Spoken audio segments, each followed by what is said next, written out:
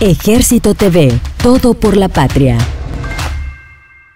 El ejército de Nicaragua, consecuente con el lema Somos el pueblo mismo uniformado trabajando en su propio beneficio, a través de la Escuela Nacional de Sargentos, Sargento Andrés Castro, el 6 de abril de 2024, participó en jornada ecológica en coordinación con el Ministerio del Ambiente y los Recursos Naturales en la laguna de Giloa, municipio de Matiare, departamento de Managua. A realizar una actividad de limpieza de costas y sensibilización a todos los los veraneantes, porque todavía este, eh, hay visitación eh, en los centros turísticos, en la laguna de Giloa. Esta es una reserva natural de la península de Chiltepec. Después de Semana Santa, pues hay una acumulación de desechos y residuos sólidos y, y nosotros hacemos una labor preventiva antes de Semana Santa, de limpieza de costas durante la Semana Santa y ahora post Semana Santa en cumplimiento de las misiones y tareas, todo por la patria, en defensa de la patria y la institución, firmeza y cohesión.